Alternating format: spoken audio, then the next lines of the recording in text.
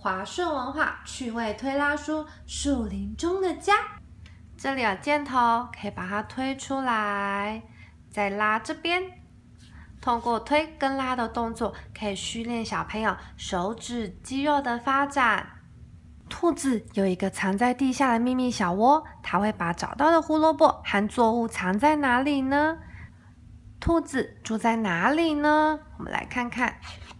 哦，它住在地洞里。啊，糟糕！老鼠在吃它的胡萝卜。松鼠是个好动的孩子，它有个敏锐的爪子，好动个不停的鼻子。它经常会把坚果收集起来哦。那你猜猜看，松鼠住在哪里呢？没错，它住在树干里。看，坚果都藏在树干里面呢。糟糕，蚂蚁把坚果偷偷的搬走了。嘿咻嘿咻嘿咻。我们来看看啄木鸟住在哪里呢？好，推上去。哦，它们住在树洞里。我们再把它往上拉。哇，你看，一棵完整的树出来了。有看到小鸟跟松鼠，它们也在树上呢。狐狸要去找窝在一起取暖的宝宝们，它们住在哪里呢？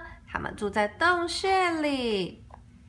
看，狐狸宝宝在睡觉呢，好可爱哦！狐狸宝宝梦到他们在追母鸡。这就是华硕文化趣味推拉书《树林中的家》。